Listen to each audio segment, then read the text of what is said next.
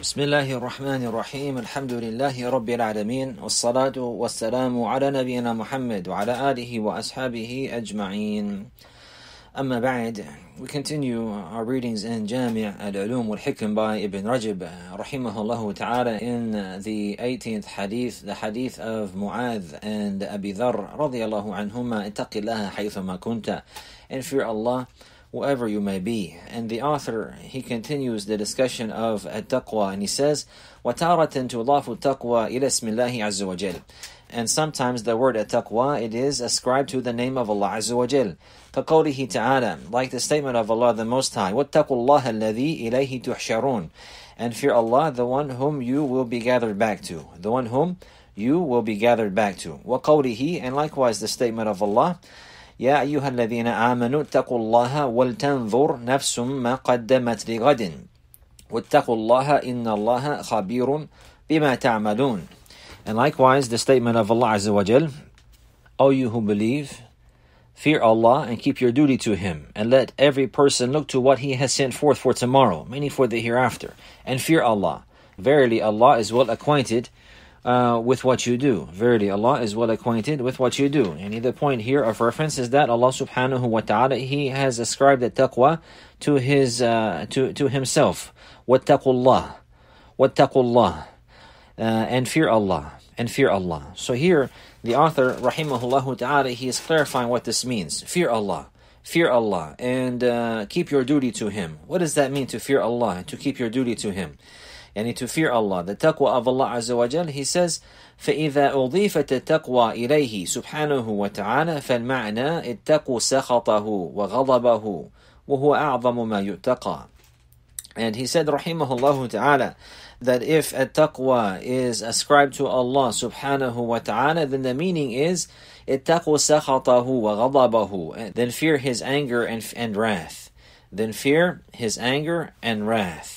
وهو أعظم ما يتقى and this is the greatest thing that should be feared this is the greatest thing that should be feared and should be avoided وعن ذلك ينشأ عقابه الدنيوي والأخروي and based upon that his worldly punishment and his punishment in the hereafter.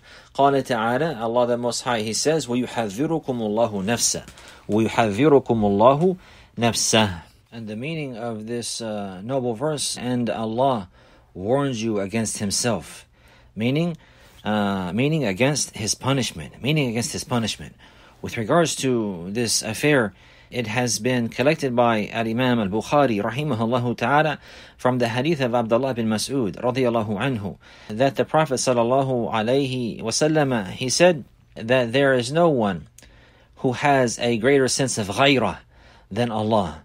That there is no one that has, there is no one who has a greater sense of ghayrah than Allah than Allah. At ghayra, it means a feeling of great fury and anger when one's honor and prestige are injured or challenged.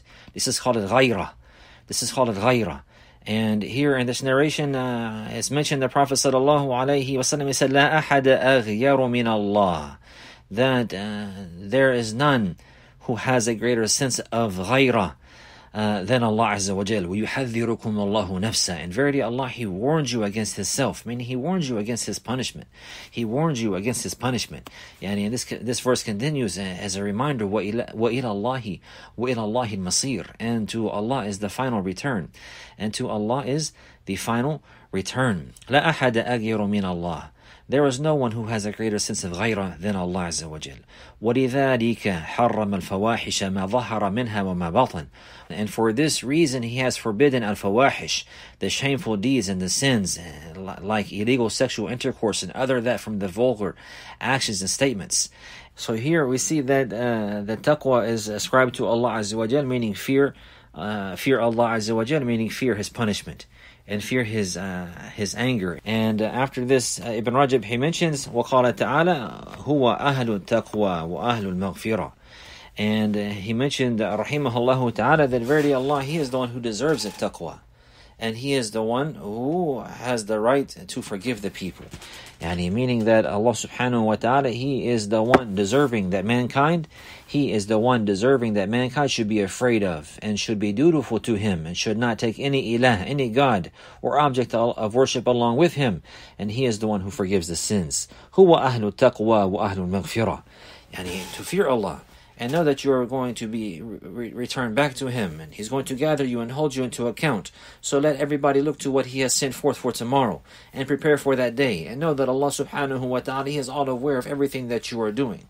So therefore, whenever the taqwa here is, is, is ascribed to Allah or is ascribed to the name of Allah subhanahu wa ta'ala, اتقوا سخطه وغضبه, that you should fear His wrath and fear His anger. وهو أعظم ما يتقى. Ibn Rajab, he mentioned, and this is the greatest thing that somebody should be afraid of the greatest thing that somebody should avoid because based upon this is the punishment that will come. The punishment in this life and likewise in the hereafter. And likewise in the hereafter. And Allah subhanahu wa ta'ala will yuhadhirukum Allahu nafsa.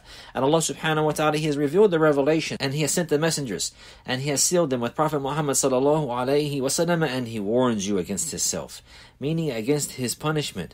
وَهُوَ أَهْلُ التَّقْوَى وَأَهْلُ الْمَغْفِرَةِ And he is the one who has the right, and he deserves that mankind should be afraid of him. He is the one who has created them, and shaped them, and formed them, and provided for them, and nourished them, and, and he is the one whom they are returning to. And he is the one who has the right that, he, that they should keep his duty towards, and they should fear him. And likewise, at the same time, وَهُوَ أَهْلُ الْمَغْفِرَةِ And he is the one who forgives and who pardons. So therefore, even if somebody he had a deficiency in his taqwa, then Allah subhanahu wa ta'ala he will pardon him and forgive him if he repents sincerely. And if he returns seeking forgiveness humbly to Allah subhanahu wa ta'ala, he can rectify that affair and he can strengthen his deen and he can strengthen his faith by sincere tawheed and returning to the deen of Allah Azza wa Jal and returning to the application of the commandments of Allah subhanahu wa ta'ala sincerely and hoping for his reward and return uh, to Allah subhanahu wa ta'ala with sincere devotion and repentance, by leaving off the sins and staying away from the actions of disobedience. And Allah subhanahu wa ta'ala يغفر الذنوب جميعا. Allah He forgives all, all sins. Ibn Rajab he mentioned فهو سبحانه أهل أن يخشى ويهاب ويجلى ويعظم في صدور عباده حتى يعبدوه ويطيعوه. And uh, He, subhanahu wa ta'ala, He is the one who deserves that He should be feared and He should be revered and honored and, and uh, magnified in the breast of His slaves, meaning in their hearts, uh, in order for them to worship Him alone and to obey Him. لما يستحقه من الإجلال والإكرام والصفات الكبرياء والعظمة وقوة البطش وشدة البأس وقوة البطش وشدة البأس and this is because of what he deserves uh, from uh, honor and from uh, reverence and from the attributes of magnificence and majesty and greatness and from his stern clutch and uh, his severe punishment uh, subhanahu wa ta'ala. And then he mentioned wafit tirmidhi and anasin عن النبي صلى الله عليه وسلم في هذه الآية and it has been narrated by Imam al-Tirmidhi from the hadith of Anas radiallahu anhu that the Prophet sallallahu alayhi wasallam he said with regards to this verse يعني هو أهل التقوى وأهل المغفرة that he is the one who has the right uh, to be feared and uh, he has the right that mankind should keep their duty to him he is the one who has the right to a taqwa and he is the one who has the right and he is the one alone who forgives the sins subhanahu wa ta'ala huwa ahlu taqwa wa ahlu maghfirah it is mentioned uh, in this narration قال قال الله تعالى the Prophet صلى الله عليه وسلم he said uh, verily Allah he says أنا أهل أن أتقى فمن اتقاني فلم يجعل معي إله آخر فأنا أهل أن أغفر له and in the meaning of this narration, the Prophet ﷺ, he says, Allah Azza he's saying here that I am the one who has the right to be feared. So therefore, whoever fears me, and he did not make another god or object of worship along with me, then I am uh, deserving to forgive him. Then I am deserving to forgive him. Yani, even though some of the people of knowledge have mentioned there's some weakness in this chain, but this narration has come with many chains, and likewise it has been narrated the similar meaning from the hadith of Abu Hurairah and Ibn Umar and Ibn Abbas radiallahu anhum, and therefore uh, it has been uh, declared uh, a good uh, narration by uh, Al-Imam Al-Albani, and this narration in general, or this wording, or this meaning, yani that the one who fears Allah Azza wa Jal by the bare minimum of leaving off shirk entirely and not associating partners with Allah whatsoever, then Allah subhanahu wa ta'ala, He will forgive him. هو أهل تقوى وأهل المغفرة. so the point here being that the author is making is that whenever the word taqwa is ascribed to the name of Allah Azza this means to fear His punishment and to fear His anger. So whenever we read in the book of Allah, ittaqullah, wattaqullah, fattaqullah, and, and the likes like this, any fear Allah. And whenever here in this uh, narration that we're studying, ittaqillaha haythuma kunta, fear Allah, meaning fear His anger and fear His punishment. Fear His anger and fear His punishment. And because proceeding from His anger is His punishment, accordingly, with justice, subhanahu wa ta'ala. So therefore, ittaqillaha haythuma kunta, and fear the anger of Allah and His wrath, and fear His punishment, subhanahu wa ta'ala. Ibn Rajab now he mentions and he says, وَتَارَةً تُضَافُ تَقْوَى إِلَى عِقَابِ اللَّهِ وَإِلَى مَكَانِهِ كالنار وإلى زمانه كيوم القيامة. And other times, uh, and, and, sometimes the word taqwa, it is ascribed to the punishment of Allah, or to its place, like the fire, or to its time, like the day of resurrection. Well, sometimes we'll see in the text that it's mentioned, ittaqillah, fear Allah. And he said the word taqwa is ascribed to Allah Azza wa Jal. Other times we will see in the text, and the author here will mention some examples, that taqwa is ascribed to the punishment of Allah. And other times it's ascribed to the place of the punishment of Allah. And other times it's ascribed to the time of the punishment of Allah. So what does all of this mean? And sometimes the taqwa is ascribed to the iqab and to the adhab and to the punishment of Allah. Huh? And other times to the place where the punishment occurs, and that is the fire and in the hereafter. And likewise to the time that that will occur, meaning on the day of resurrection meaning on the day of resurrection. The author he says, كما قال تعالى, just like Allah he says, واتقوا النار التي أعدت للكافرين and fear the fire, and fear the fire that has been prepared for the disbelievers. And he fear the fire, and he, because the fire, this is the place where the punishment of Allah occurs. This is the place where the anger and the punishment of Allah occurs severely, and he in the fire. So therefore fear the fire, because this is the place this is the place where the anger and the wrath and the punishment uh, of Allah occurs. وَلِيَذُ بِاللَّهِ وقال تعالى فاتقوا النار التي وقودها الناس والحجارة أعدت الكافرين uh, and fear the fire which its fuel is uh, men and stones that has been prepared that has been prepared for the disbelievers. وقال تعالى and likewise in the statement of Allah Azza wa Jal واتقوا يوما ترجعون فيه إلى الله and fear the day and fear the day that you will return in it to Allah, meaning the day of, of resurrection. So fear. The, so here the taqwa is, is uh, about the day of resurrection. Fear that day because this is the day or the time uh, where the punishment and the anger of Allah will befall the people in, in, in a severe manner, in a severe and the most severe manner.